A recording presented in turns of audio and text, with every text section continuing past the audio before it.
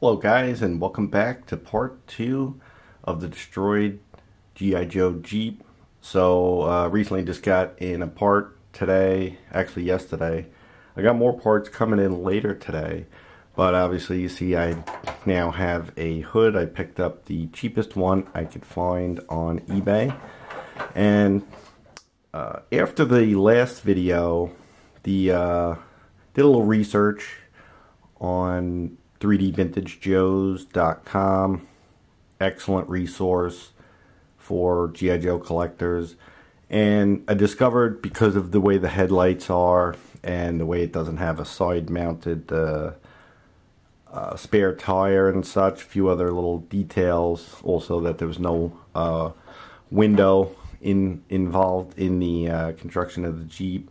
That this is the Sandstorm Survival Jeep and I only realized that after I had bought this hood. This hood is the uh, the more standardized GI Joe 7000, which is kind of what I thought this was initially, but it's not with the star on the top.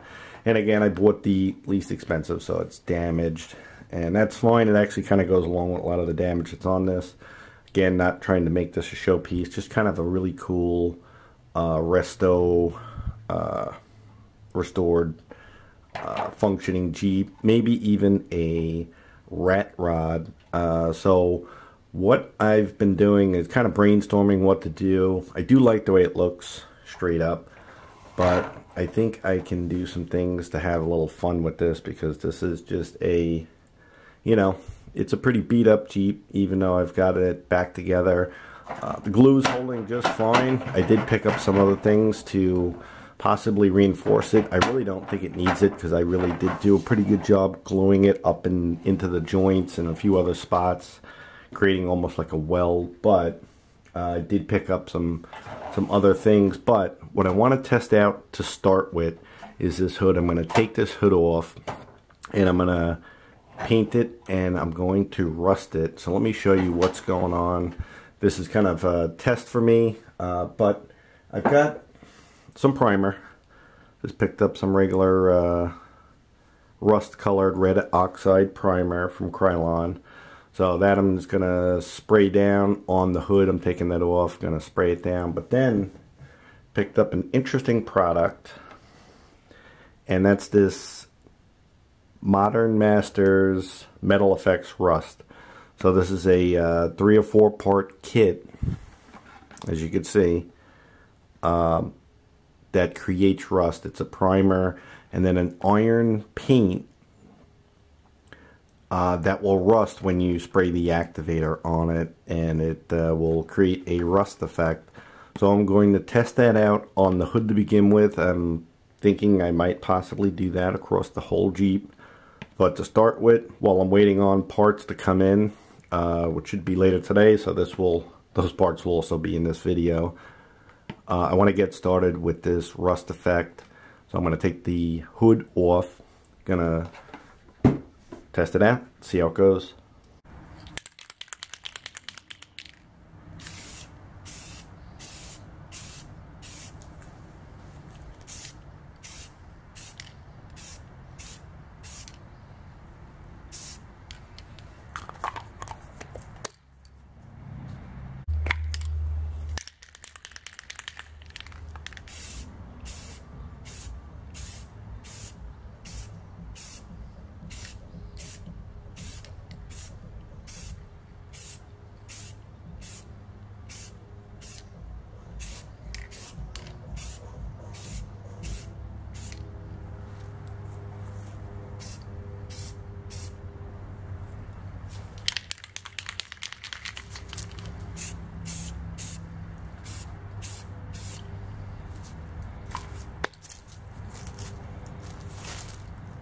Okay, so I've primed the uh, hood and I also went ahead and primed the uh, windshield as well as I'm kind of digging the way this is looking. Uh, again, this right here is just a red oxide spray paint primer. That's all that's on here right now. The rust kit is not on. And actually is pretty convincing. I could kind of stop there and be happy with it. But I spent 20 bucks on this rust kit, so I'm going to give it a shot. Uh, I haven't clipped it into place, but you can see the effect, uh, just the dusting of the red oxide primer gives it. It's a really cool look, gives it that uh, uh, rusted out. You know, this is Sandstorm Survival. Not that this is the right hood for it, but that's the idea I'm going for with this Jeep. You know, something that's been uh, out in the field, uh, has uh, had it, uh, but it's still a functioning vehicle. So I'm going to go ahead and get started with the process here. So on the instructions, uh, you could uh, pause that if you want to do this yourself, but you'll have the box. Uh, the first step is to just use the primer, uh, which I've already sprayed primer, but I'll go ahead and use the primer because you can dab this in a way to give it a little bit more of a built up rust look. Uh, so that'll be step one. Then step two is to paint on the actual iron oxidizing paint. And then step three will to use the activator with the spray bottle to spray onto that to allow it to start rust. Alright, so let's go ahead and get started with their primer.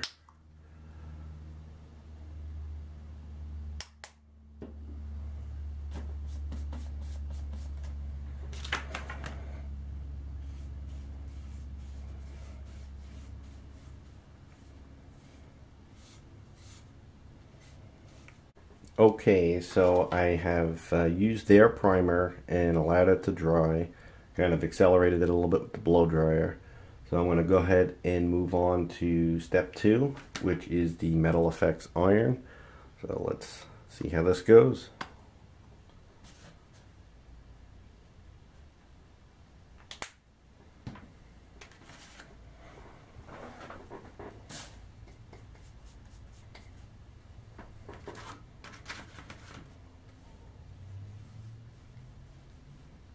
I that needs any shaking up. Seems a little watery. Okay, so that's one coat on there. And I'm going to do the second coat now. And I did need to mix it up a little bit. It is watery, but it still shouldn't have been as watery as it was. Alright, so now it's got the spray paint primer. It's got the kit primer and two coats of the iron oxidizer. Now I'm going to use the rust activator and let's see what we get.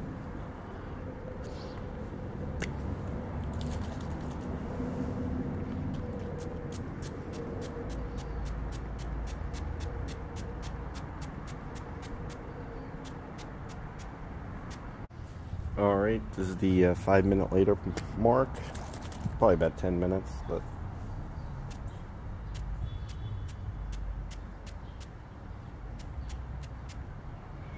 Okay, so while I'm waiting for that to rust up, I'm to go ahead and coat the Jeep. I don't think I'm to do that process across the whole thing, just a couple of parts, but I do want to go ahead and paint up the Jeep. So get started with that.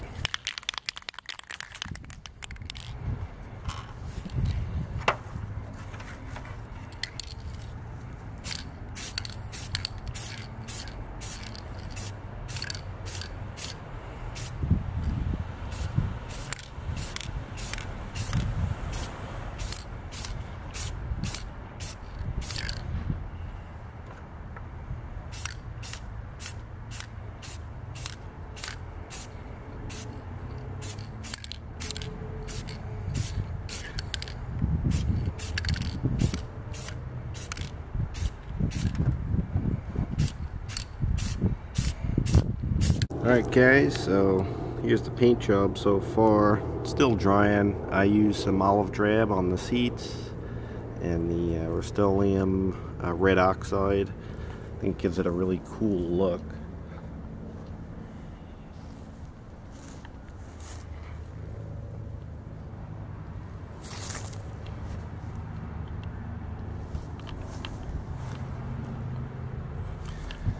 And then over here we got the uh, windshield still rusting up.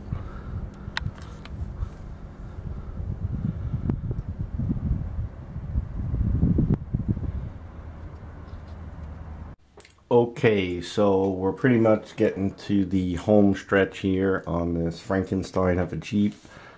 Uh, so I only did the effect on the windshield because I wasn't sure how I was going to like it. And I'm not sure that I do fully love this look uh, that's uh, taking place on the windshield with the uh, rust kit. I do prefer the, uh, the Rust-Oleum paint job I did Instead, the dusting, it gives it a nicer, uh, you know, just worn out in the sun look. This uh, looks to me a little bit more like corrosion. So I'm not a huge fan of that. I've also picked up uh, the uh, olive drab Testors I've been using as well on this to give it a uh, look. So the seats are done in the olive drab and I dusted along the sides because the uh, basically it would look more uh, worn on top than it would on the sides in my opinion. Haven't touched the wheels yet. Um, let's give you a full-on look of this. The seats I again hit with the olive drab and then uh, on the side to give it a look like it's rusting away the paint but not completely I think it gives it a really cool look uh, pretty happy with the way this is coming along. But as I said, I got some parts in coming today and they came. So here's the steering wheel. Uh, here's a gas cap from Matt's uh, Squatch Customs. So I'll be putting that on there. I also did pick up a uh, Adventure Team vehicle sticker from Cotswold because uh, I was thinking of, you know, going to what this is, which is Sandstorm Survival uh, though I do like the tampoed uh, weathered look there uh, and also on the star. I was considering putting the uh, sticker there, but anyway, let's take a look at the steering wheel first. So this is the column and the steering wheel, so let's get that put on.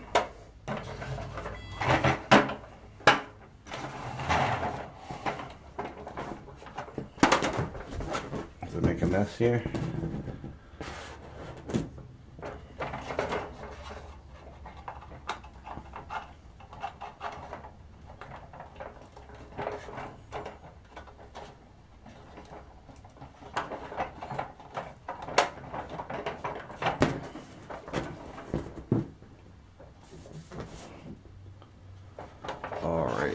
So that's the steering column in and let's put the steering wheel on.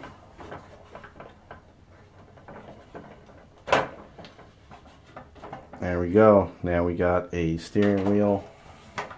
So it's a drivable Jeep, uh, though it is missing the uh, shifter. That's another thing I gotta work on. Uh, but that's pretty cool. Now it has a steering wheel. starting to look more like something you can actually use. And let's take a look at this gas cap.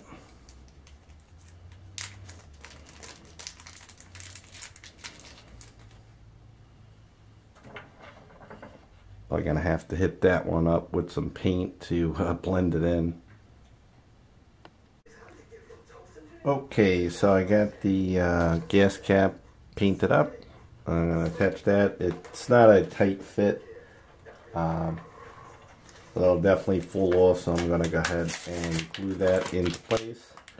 Picked up some new Loctite super glue. Stuff's been great so far, so definitely going to continue using that.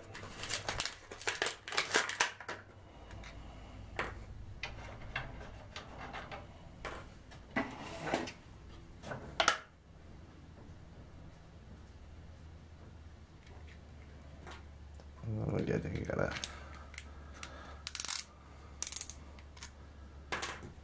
activate it, punch through. Just a tiny drop. Don't need much on this one.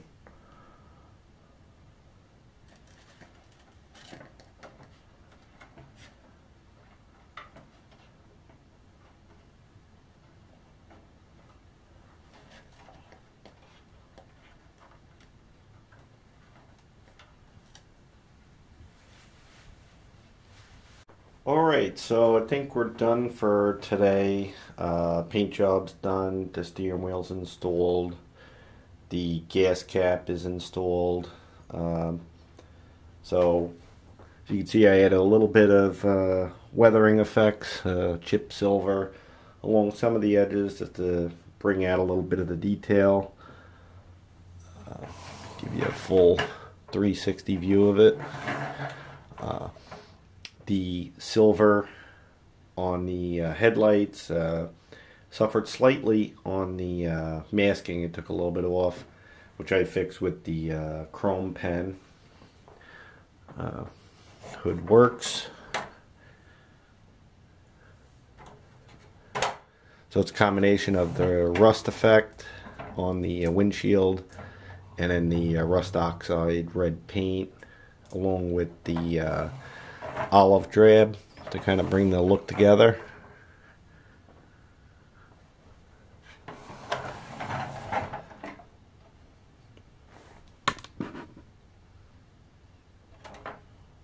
So I think it turned out pretty good for a Jeep that was uh, broken in half and ready for the trash heap. I think there's a few little tidbits to do. The transmission needs to be uh, installed. I'll probably make a, a custom one because uh, looking on eBay, they're not really too cost effective.